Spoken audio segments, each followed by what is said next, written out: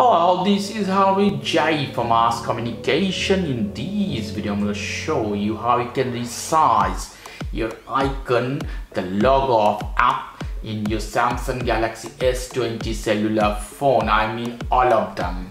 Okay, for example, this is the default setup it has. All the icons you see, they look quite bigger. Even the app store. Okay, you have to tap at your screen here you see here you have some option. Wallpaper themes widgets home screen setting. I hit home screen setting. Here you see you have three options from the top. The first option home screen layout. Second home screen grid. And the last option apps screen grid. I hit home screen grid. Okay.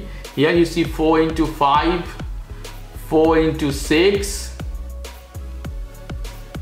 after that 5 into 5 5 into 6 5 into 5 option as you see it will take the size. 5 into 5 I like this I hit save.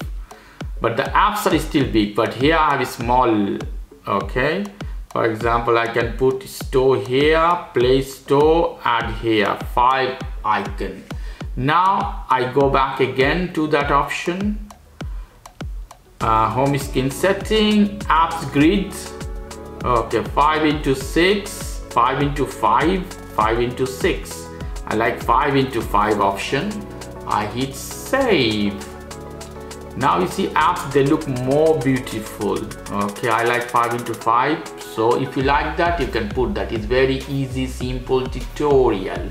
Okay guys if you like this video please do subscribe to my channel. If you like this segment please give me a thumbs up as always, for more information, go to the Aires Communication, www.airescommunication.com. Have a lovely evening. Take care. Till then, bye.